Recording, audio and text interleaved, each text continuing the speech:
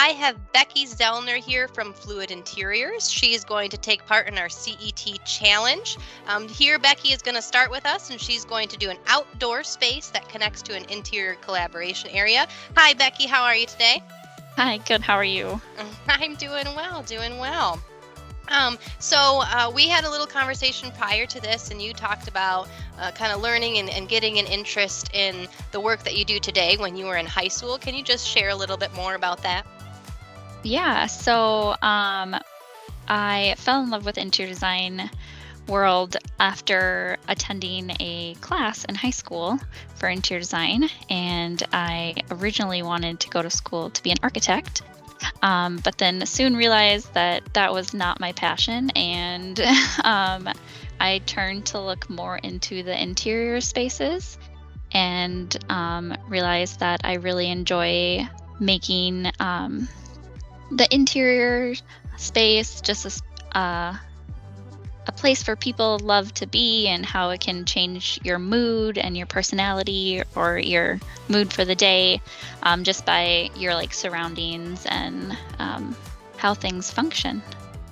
Are you someone that when you walk into a waiting area or a hotel lobby or anything like that that you you instantly notice how things are are laid out and what products are used and placement and and kind of not judge but see the feel that that's there. Do you do that kind of thing? And if you do you know what is that experience like for you?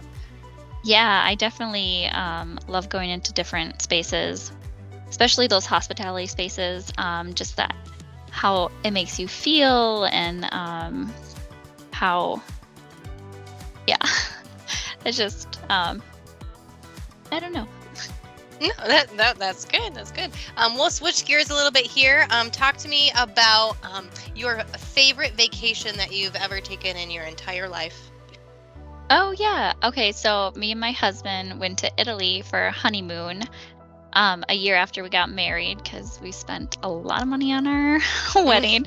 um, so that was by far my favorite uh, trip we we took um, it was about a week and a half and we went to florence and uh, rome and then we headed to like the amalfi coast and it was amazing full of pasta and wine and mm. lovely lovely yeah. do you do you um is travel something um, that you're passionate about do you like to you know go on you know many trips or is it kind of a, a big plan that you have to organize and, and make happen yeah, I love going on many trips. Um, if it was up to me, we'd probably go on a couple trips a year. Um, but unfortunately, our bank account does not allow that sure. all the time. That's the dream, um, right? I think everybody yes. has. yes, exactly. So that's wonderful. Some all right, talk warm too. Sure, I I hear you because you're in Minneapolis, Minnesota. So this time of year, you're it's chilly. Talk to me a little bit about where you are in the drawing process right now. What are you working on? Um, so I first just drew all the walls and added a couple doors. Um, I'm starting to kind of lay out some ancillary products. Um, this is the interior space. Um, it is open to a little balcony out here, so I'll put some outdoor furniture. Um, so yeah. Um, how often do you design spaces right now, or have RFPs that come in um, that call for in inside and outside um, support? You know, the spaces that are looking to to bring the outside in in so many ways. Mm-hmm.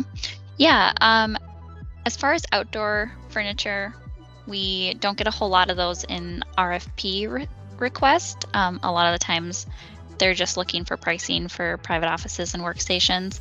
Um, but when it comes to like projects, I would say um, out of maybe 10 projects I'm working on, I probably have like two or three are looking for like some outdoor furniture.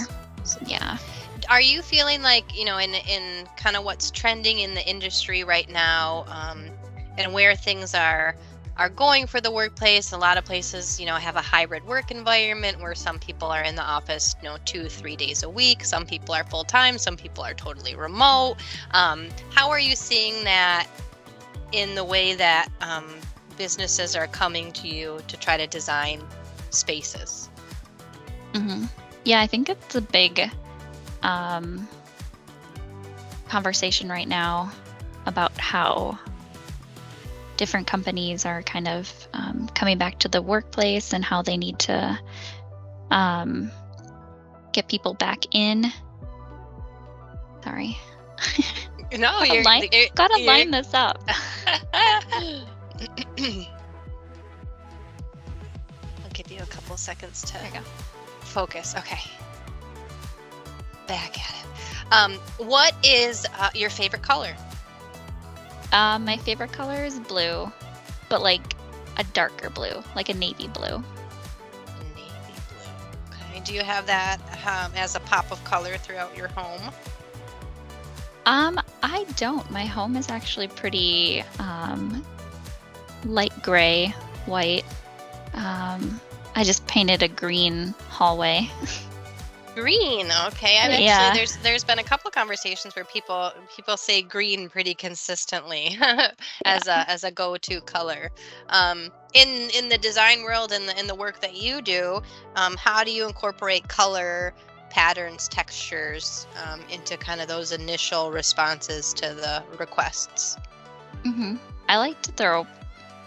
Um, I like to keep like the bigger pieces a little bit more neutral, and then throw um, in like our pops of colors or um, pattern on kind of more accent things like throw pillows, wall covering, um, rugs.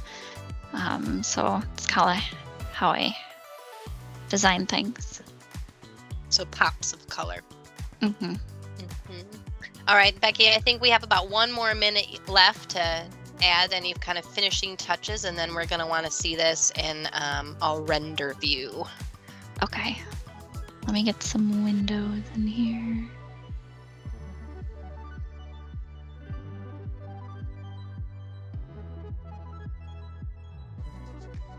And I just want to just comment like, look how easily you were able to just, you know, pick it and add it, and there it is. Drag and drop. Yes. We'll do some different flooring.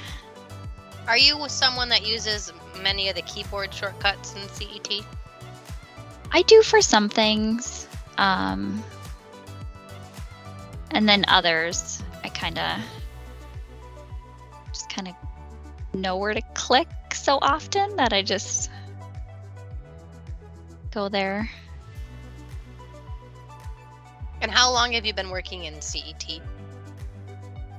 Um, I've been working in CET for um, about 10 years now. So how, how have you felt about kind of the evolution and new tools that have been added over the years and kind of the trajectory of where things are, are going and things they're adding like the Twinmotion extension for more immersive rendering kind of visual VR experiences? hmm Um, I think CT is going um, above and beyond all the different tools that they've incorporated and all the different extensions. And yeah, the the VR um, is a great aspect. Twinmotion, I haven't gotten a whole lot into that, but I'm really excited to start getting into that. Um, I think it's just going to enhance our ability to um, sell furniture and let people be able to see their space before it's actually built out. Um, All right, Becky, let's wrap it up so we can see what you have here. All right, Becky here has her completed challenge visual for us to look at. It's a part outdoor space, part interior collaboration area. Becky, can you walk us through how you made this rendering? yeah, so I added some walls, some doors, windows, um, started putting in some furniture. Um, didn't get to change any of the finishes quite yet, um, but um, what I typically like to do is go into simple mode, make sure I'm in product lighting, and then outline overlay is my tim- tends to be my go-to for renderings, and then I render. Lovely. Do you have any final thoughts about uh, working in CET commercial interiors or Configura that you'd like to share? Um, I guess if um, if there's any like new people looking to get into Configura, it's really easy um, to learn and to understand, and there's always uh, different people there to support you in any way that you need it. So um, don't be afraid to just dive right in and see what you can start designing and building. Excellent. Thank you so much for your time today, Becky. Um, and we hope you have a great 2023.